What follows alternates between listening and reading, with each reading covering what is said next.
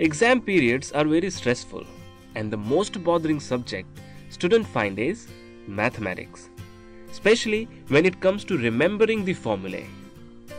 Everyone tries to mug up the formulae. We keep writing it everywhere, make a note of it and keep in our pocket, but still we forget or get confused. Why is it so? Did we do something wrong? Or is it not the right way to learn them? There is a huge difference between mugging up the formulae and understanding them, which we are going to learn in this session. My dear friends, the chapter surface areas and volumes, which is also known as mensuration, has a lot of formulae. And the tricky part is they all look similar. We have already completed various sessions on surface areas and volumes. I suggest you to please watch these sessions for detailed explanation.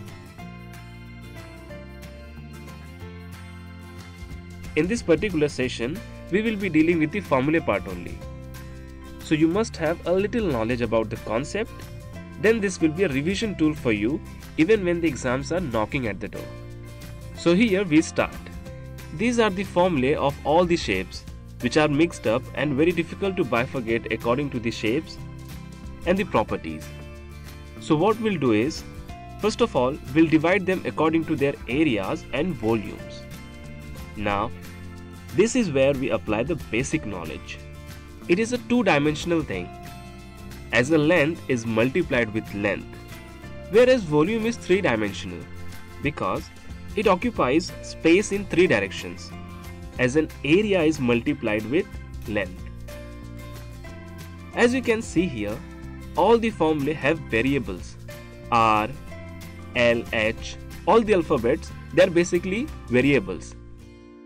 So the formula that has one variable with degree 3, like 4 by 3 pi r cubed, or different variables with the powers when added gives 3. For example, LBH the power of L is 1, the power of B is 1 and the power of H is also 1. And when we add them up, it gives 3. These are all the formulae to calculate volume. And if the addition is 2, means it's the formula to calculate space taken by two-dimensional objects, that is, area.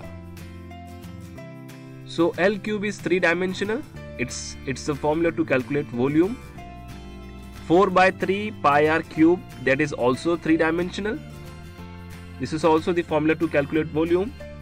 One thing you must remember is pi is not a variable, it's a constant. Okay, let's move on. 4 pi r square, it's the formula to calculate area.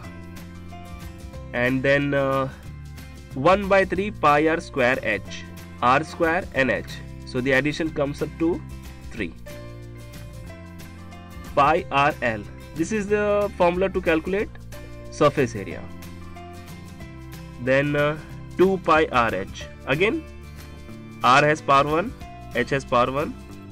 It adds up to 2 and so on.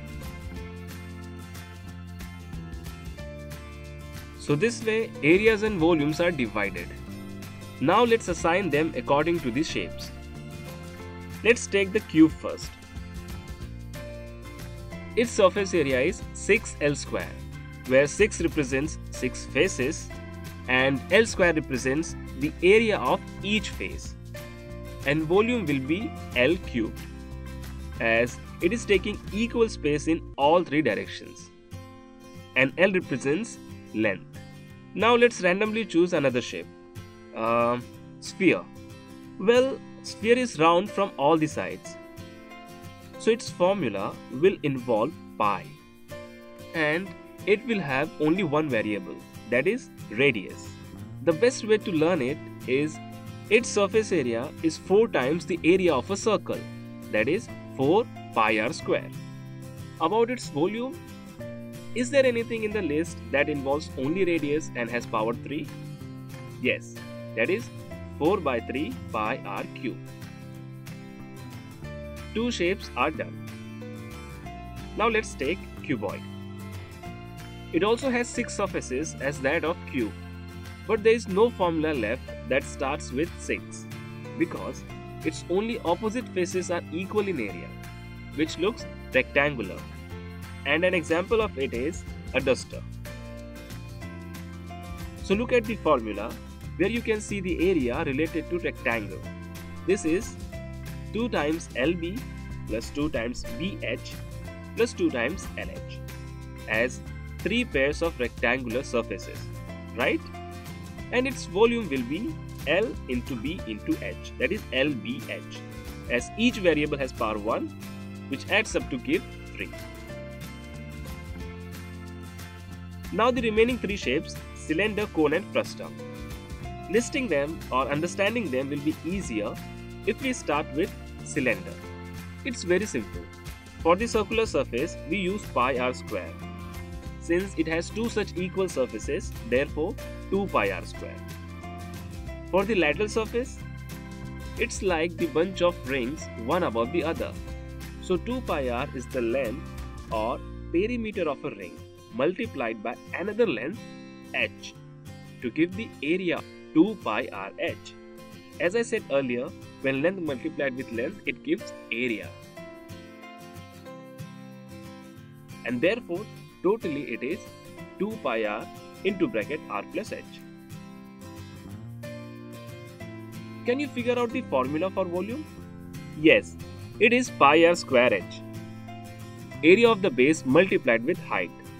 Like we put rings to height h, similarly now if we put disk to the height h, we get volume. Now once we note it down, we can easily find the volume of cone, which is one third the volume of a cylinder. So 1 by 3 pi r square h. And uh, surface area? It also has one circular surface, that's why pi r square. And rest of the surface is calculated by the formula pi r l, where l is the slant height. So together it is pi r into bracket r plus l. And the last shape will get settled by itself. But if we have to write it by our own, then try to relate it with cone. About its surface area, it has two circular surfaces. So pi r1 square and pi r2 square. Its lateral surface area is on the similar line as that of cone, pi r1l and pi r2l, which totals up to give this. And for volume as of cone, it is 1 by 3 pi r square h.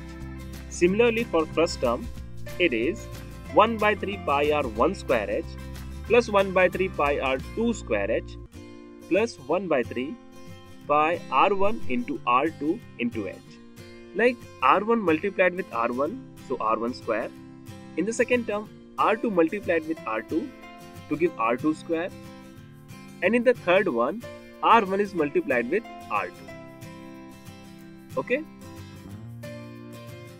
you can also bifurcate surface area into lateral surface area and the total surface area so guys this is all about the standard shapes but questions could also be asked by modifying these shapes like cutting or combining them. Say, for example, a hemisphere or a capsule.